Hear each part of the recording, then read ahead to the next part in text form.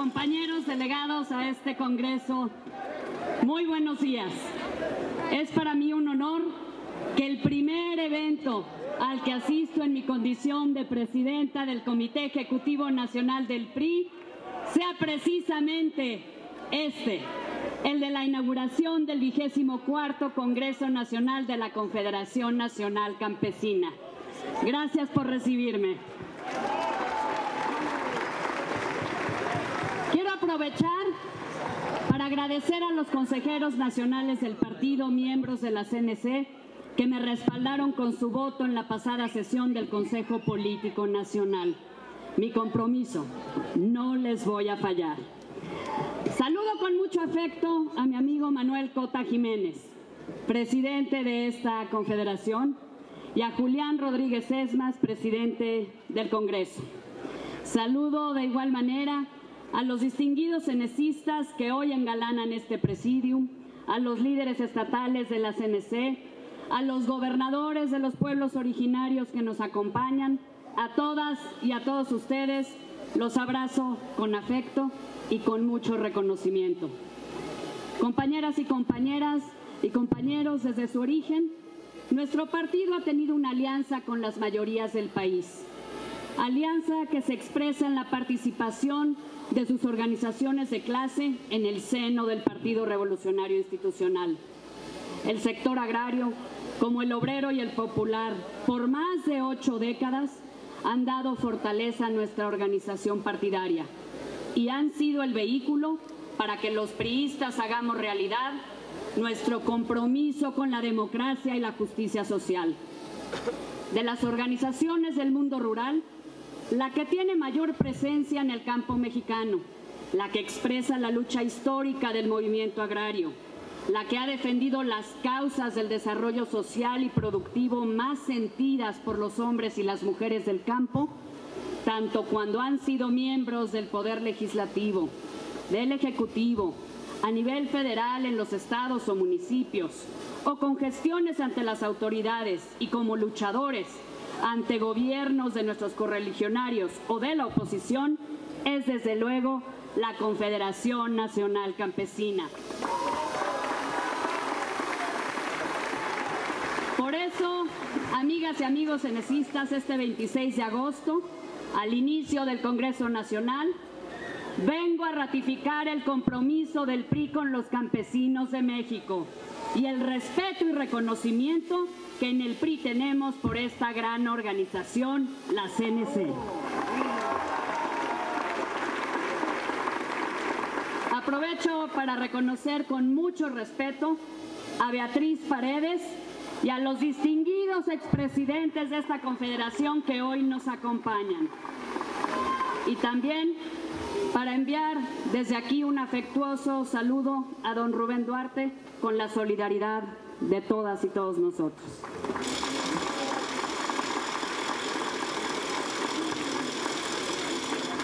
¿Qué mejor momento que ahora, en el marco de su 80 aniversario, para reconocer la aportación de la CNC al desarrollo del país, a su infraestructura, a sus instituciones, a las muchas leyes, carreteras, presas, escuelas, hospitales, que gracias a la tenacidad y el trabajo de los campesinos de México y de sus liderazgos hicieron posible el tránsito a un país democrático en la propiedad con justicia social.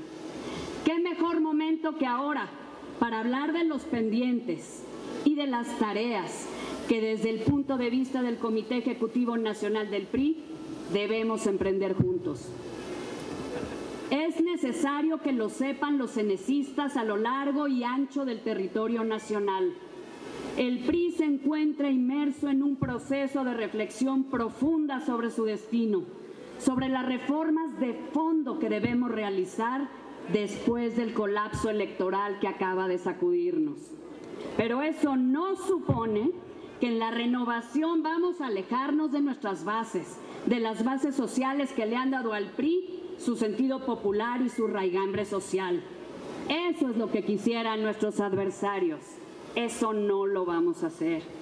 Por el contrario, queremos invitar a los hombres y las mujeres del campo a los jóvenes, a todos los cenecistas y campesinos, miembros de otras organizaciones afines al PRI, a que participen activamente en el proceso de reforma del partido, a que expresen sus puntos de vista sobre nuestra renovación estructural, sobre las formas de operar en el territorio. Todas las voces van a ser escuchadas. Es una reforma abierta a todas las voces del PRI, de sus sectores y de sus organizaciones. Una reforma en la que queremos que participen las bases de nuestro partido. Hay que renovarnos, hay que reformarnos. Vamos a reformar y a defender al partido como lo que somos, más que como un equipo, como una familia. Hay que renovarnos y hoy, con todas sus letras, refrendo el compromiso del PRI con las mujeres y hombres del campo. Hay que hablar también, hay que hablar también entonces de lo que debemos hacer para mejorar y para subrayar nuestro vínculo entre partido y los campesinos de México para que les podamos cumplir. Porque si bien hemos avanzado, lo cierto es que el presente y el futuro hoy nos plantean desafíos para que sea realidad plena la aspiración de Emiliano Zapata y de Francisco Villa de que a partir de su trabajo y de la propiedad de su tierra, los mexicanos del campo tengan una vida más digna y con más oportunidades. Nuestro presidente Enrique Peña Nieto ha realizado un enorme y valioso esfuerzo para recuperar el papel del Estado como promotor de un desarrollo más incluyente y para brindar mejores alternativas a los niños, a los jóvenes, mujeres y hombres del ámbito rural. Aquí valoramos y reconocemos ese compromiso y liderazgo del presidente de la República. Compañeros y amigos, todavía hay mucho por hacer y lo vamos a hacer juntos. Hay que terminar con la situación inaceptable de que entre más se internacionalizan los productos del campo mexicano, más se abre la brecha para los pequeños propietarios que no participan de esa dinámica de exportación. En el PRI no podemos ya permitir ese rezago. Ese es un compromiso que asumimos los priistas con los campesinos de todo el país. Además, el partido debe volver a abrir más espacios de participación política a los cenecistas y respaldar más vocalmente sus causas. Yo me comprometo, me comprometo a que estemos más cerca y a darles el lugar que les corresponde, no solo por su lealtad, ni solamente por lo justas que son sus banderas, sino por convicción personal. En cada recorrido que haga como presidenta del partido, tendré acercamiento directo con las dirigencias y con la militancia cenecista. Y desde el partido a promover que en el Poder Legislativo se impulse la reforma al campo que tanto se necesita. Por cierto, quiero reconocer a las candidatas y candidatos cenecistas que participaron en el pasado proceso electoral. Y es muy digno de reconocerse que las diputaciones federales que el partido ganó en la pasada elección, la mayoría de los candidatos que resultaron electos fueron compañeras y compañeros de la CNC y de todos ellos y de su esfuerzo nos sentimos muy, muy orgullosos.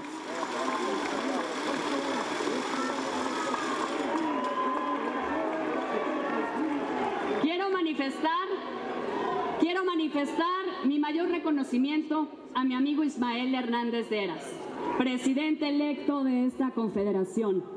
Que sepas, amigo Ismael, que como dirigente y como diputado tendrás el respaldo total del Comité Ejecutivo Nacional.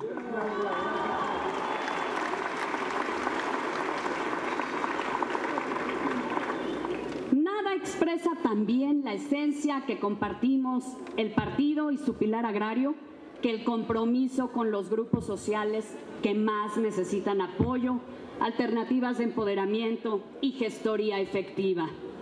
Trabajemos más juntos y demos mayor prioridad a los más leales entre los leales, a los adultos mayores del campo y a los hermanos indígenas. Un compromiso puntual y específico de poner al centro de nuestro esfuerzo su bienestar y desarrollo. Un tema muy cercano a mi corazón es el de las mujeres del campo. Muy bien el trabajo y el esfuerzo que realizan las mujeres cenecistas. Conozco también mujeres CNC. Conozco también los obstáculos que enfrentan para avanzar en su empoderamiento económico y también en sus legítimas aspiraciones políticas. Aquí lo digo y lo digo claro, no están solas. Tienen en la presidenta de su partido una amiga y una aliada. Tienen mi palabra.